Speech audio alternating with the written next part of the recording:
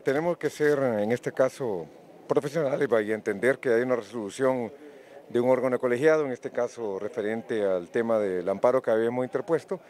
Eh, obviamente, pues, por un tema de jurídicamente hablando, no lo compartimos, sin embargo, pues, somos un Estado de Derecho y tenemos que acatar disposiciones emanadas y verificar cuál va a ser el destino del frente a partir de esta fecha, ¿verdad? ¿Por qué ha solicitado usted la nulidad de las elecciones si usted no fue candidato ni participó?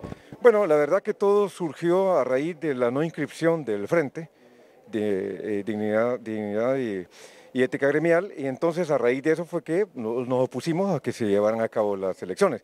Sin embargo, como le digo anteriormente, pues nosotros somos respetuosos del derecho y en este caso, pues eh, estamos analizando qué podemos continuar haciendo después de lo que aconteció, ¿verdad? Dicen que van a acusar a, los que le admitieron ese amparo de prevaricato, porque no les correspondía uso de, de autoridad también.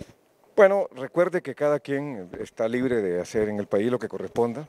Yo lo que le puedo decir es que todo pasó por el órgano jurisdiccional competente y desde luego, pues si nos sometemos a las reglas, pues obviamente eh, tenemos que entender que existe un órgano jurisdiccional que resuelve. En este caso, la Sala de lo Constitucional resolvió el amparo. Eh, habrá que ver también si ellos, por haber resuelto el amparo, también podrían tener alguna responsabilidad. Pues tienen el derecho de presentar las acciones que correspondan. Obviamente, pues eh, tendrán que tener el asidero jurídico para, para, para presentar la acción correspondiente. Y le repito, es decir, en el país estamos libres de hacer lo que queramos. ¿Queda cerrado este caso para usted, abogado Polán?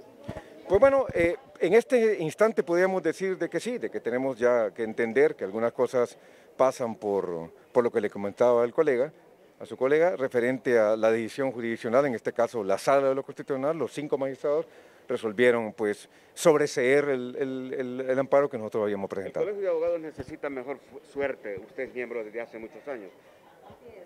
Así es, eh, pues esperemos que esta nueva junta directiva eh, venga a, pues, a llevar a cabo buen desempeñarse de una forma correcta, como usted lo acaba de mencionar, y lo que buscamos es que efectivamente es de que el Colegio de Abogados pues, tenga una buena representación. En este caso en particular, debo decir de que las circunstancias son bastante particulares, porque, eh, como ustedes pueden darse cuenta, desde ese 14 de marzo ya había una disposición de SINAGER y del, Ministerio de Gobernación inclusive, referente a eh, evitar a toda costa reuniones de más de 10 personas.